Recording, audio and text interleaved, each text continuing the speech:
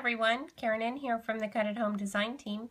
Today I'm going to show you a mini album that I made uh, using Graphic 45 papers. Um, I used the 6x6 patterns and solids from Voyage Beneath the Sea and also Voyage Beneath the Sea in the 8x8. Um, and I just want to show you some of these papers. I just love them.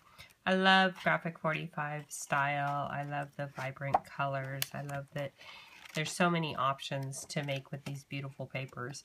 And so let me show you what I did.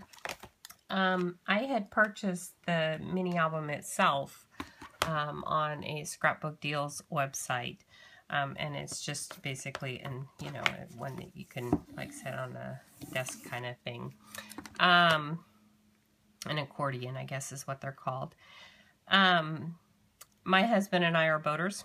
And while a voyage beneath the sea would not be good when you're a boater, um, I thought that the papers would be perfect to do a mini album showing some of our pictures. So, so this is a slot for a picture. We've recently gotten a new boat, um, and so I'm saving that for when we get finally get a picture of it.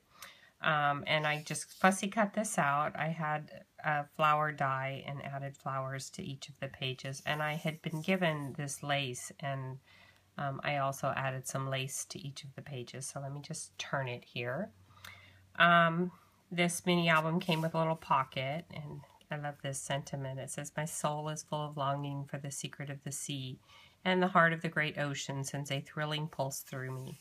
Um, definitely one that fits my husband. Um, when we are out on our boat, um, we sometimes get to make the drawbridges open because it's too tall to get underneath the bridge and so you'll see that I have lots of bridge pictures. Um, and this side, there's another pocket with pictures of my husband and I. It says, I love you more than all the fish in the sea.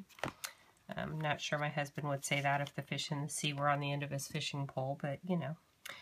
Um, more flowers and more lace. This is a die from Memory Box that is waves. I thought that was pretty cute. Cut a little border out on that one. Um, again, more pictures of bridges. Yes, I'm a little obsessed with bridges. I added some of the lace here and here. Another die from Memory Box that sort of looks like bubbles. Um, and more bubbles over here. Another border.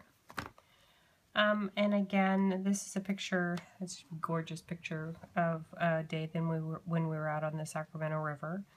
Um, a friend of ours who is just a riot, um, little tag for him there posing being funny.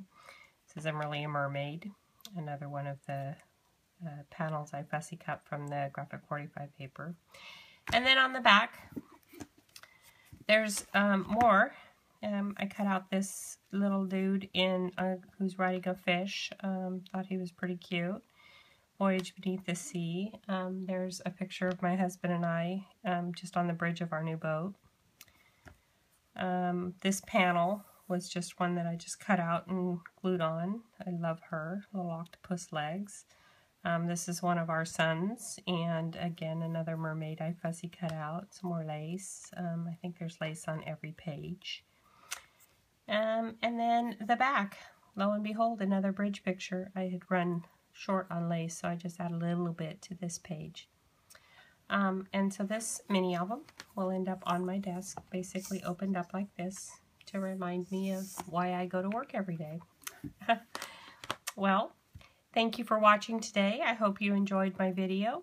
Um, for more information on the products that I used and for more crafty inspiration, be sure to check out the Cut at Home blog at www.cutathome.com slash blog. Stay crafty.